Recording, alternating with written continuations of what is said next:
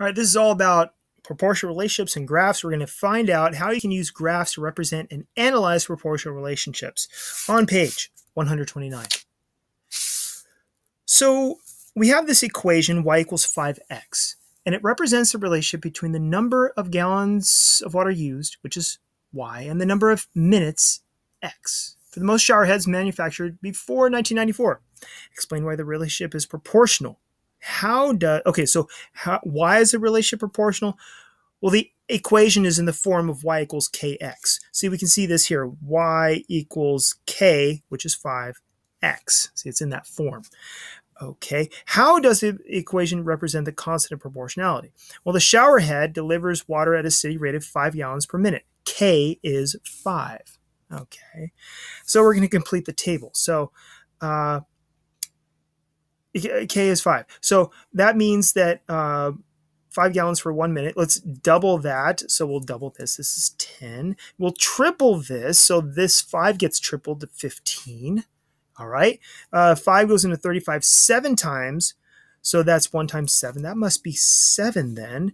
And then one times 10 is 10. So five times 10 is 50. Okay, we got all that information there. So we'll write this. And now remember, the first row is the x values and the second row is the y values in each table. So we have an ordered pair. and these ordered pairs, the first number is the x number and the second number is the y number. So we, we see the uh, 1, 5, 1, 5. So 2 10, 2, 10. 3, 15, 3, 15, and this is 735, 735, and 1050, 1050. So we're going to plot the ordered pairs. Uh, 1, 5. X is the horizontal right here, and uh, Y is the vertical. So 1, 5, 1, 5. That would be right there. 210, 210. Okay. 315, 315. Uh, 735. So 7 and 35 is right here. And uh, 10 and 50. 10 and 50. Okay. Well, look at that. Uh, if the shower head is used for zero minutes, how many gallons of water will be used? Well, that's zero. Second question What ordered pair represents this situation? Well, that would be zero, zero zero minutes. And, and even though we don't have a dot there, what we could do is we can have this line here. We could draw this line connecting these, and that would put us at a new point at zero, zero right there. And then uh, what is the location called right there? It's called the origin, zero, zero. If the shower head is used for a minute, how many gallons of water will be used? Well, one minute, five gallons. So five gallons. What ordered pair represents the situation? It was this one, five right there. So one, five. And what does this point represent? Well, one, five is our constant of proportionality. That is our unit rate. And I want to re- uh, return to that, uh, make a Venn diagram. Remember that ratios, oh my God, I have this totally backwards. Um, whoopsie, this is in real time right now. So we have uh, a ratio would be something like 12 divided by 2. Okay. And a rate is that ratio with labels on it, like inches per hour. And then the unit rate would be that simplified. The denominator always is 1 in a unit rate. So that would be 6 inches in one hour. So that is the relationship. And so uh, the unit rate is a special type of rate, which is a special type of ratio. Okay, so uh, here, uh, the constant proportionality or our unit rate, five gallons per minute. Uh, if you continue the table to include 23 minutes, uh, would the point 23 and 125 be on this graph? Well, I would take 23 and multiply it by 5 to find out what the y value would be. And 23 times 5 is 115, not 123. So no, it would not be on the graph. Okay. On the back, identifying proportional relationships. Well, in addition to the table, you can also graph these things and these relationships. And a relationship is a proportional, a A relationship is a proportional relationship if the graph is a straight line through the origin. So that is big. It's a straight line, a straight line through the origin. I even make a note of that here, straight line through the origin. So this table shows a relationship between the amount charged by a house cleaning company in dollars and the amount of time it worked in hours. Is a relationship a proportional relationship? So we have each xy value here, and we're going to write that in uh, ordered pairs. So the first one, uh, x, y, x, y, x, y, x, y, x, y. And we have uh, 145, okay, 290, 3, 135. We have each of these ordered pairs here. They correspond to the table here.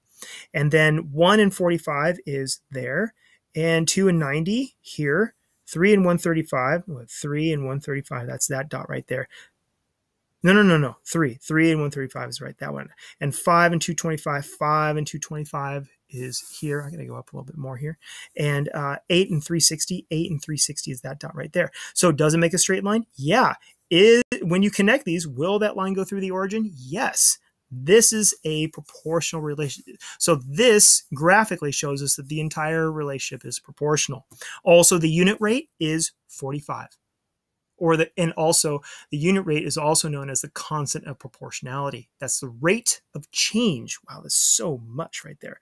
So uh, the rate of ch- charges $45 per hour. And, when we have when we're writing an equation y equals kx, our equation would then be y equals 45x. So you notice that rate of change, constant of proportionality, all the same thing. So Jared rents bowling shoes for $6 and pays $5 per bowling game. Is a relationship a proportional relationship? And explain. So uh, he uh, he he pays six dollars and then five dollars per game. So this eleven is the six plus five. Six plus five. So there it is. If you play two games, two games is the six dollars for renting the shoes plus plus ten dollars because you're playing two games. See, that's how you get the 16 right there. And then this would be 6 plus, uh, 15 because it's three games plus the shoes. And then this would be 6 plus, um, 20 for four games. Okay, so uh, let's see, 1, 11. So I have to graph this. 1 and 11 is somewhere around here.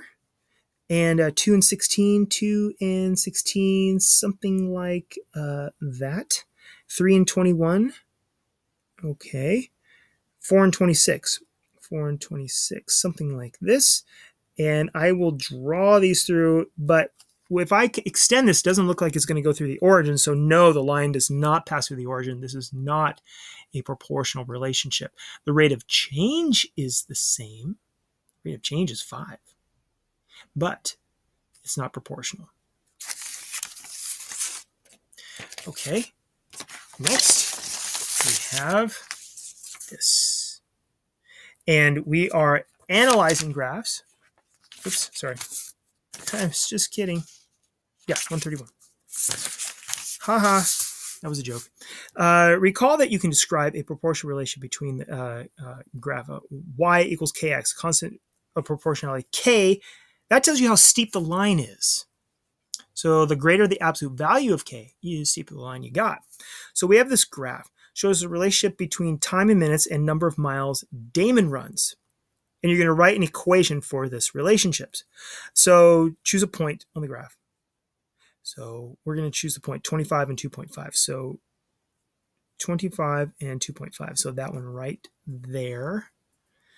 And um, so represents the distance, 2.5 miles, and Damon runs in 25 minutes. What is the constant of proportionality? Well, you take the uh, y value, which is 2.5, over the x value, 25. And remember the y value, those are the these numbers right here. So the y value over the x value right there. And uh, so, and then you write your equation. Uh, that simplifies to 1 tenth. So this is our equation right here. What does the point zero zero on the graph represent?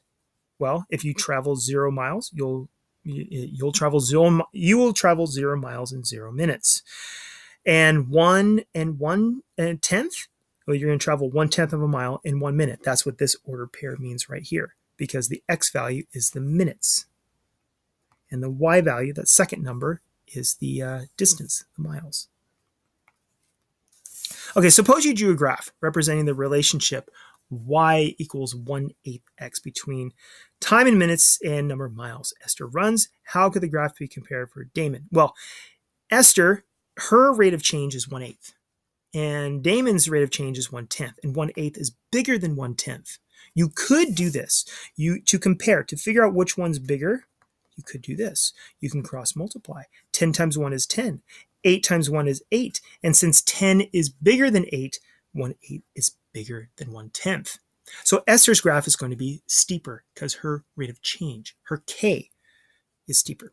Use the equation to find how far Damon runs in 40 minutes. So our equation, going back to the equation, uh, the equation was y equals 1 tenth x. So I use that over here, y equals 1 tenth x. And uh, so 40 minutes. And minutes is our x value right here. So 1 tenth times 40 is 40 over 10, which is 4 miles. So in 40 minutes, he'll travel 4 miles. Now I'll use that same equation here, but now we're finding how much time uh, would take him to run 7.5 miles. So the y is the distance. And remember, if you want to go back to this too, the y is the distance and the x is the time in minutes. 7.5 miles times 10. Uh, I'm multiplying by 10 because this is uh, times one tenth. And if you bring it to the other, if you bring it to the other side of the equal sign, you have to use the reciprocal. So 7.5 times 10 is 75. So it takes you 75 minutes. The graph shows a relationship between the distance a bicyclist travels in the time in hours. So here we go. What does the point 40, comma 60 represent? Of 40, 4 and comma 60. So 4 hours, you can travel 60 miles. So 60 miles in 4 hours.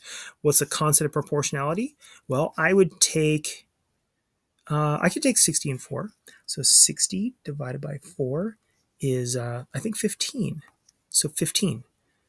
Uh, there it is. Constant of proportionality is 15 and write the equation y equals kx so y equals 15x. And there it is, our equation for the proportional relationship.